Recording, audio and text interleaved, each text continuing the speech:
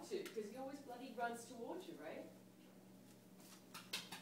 We've got a of those peace stains, Pat. I know.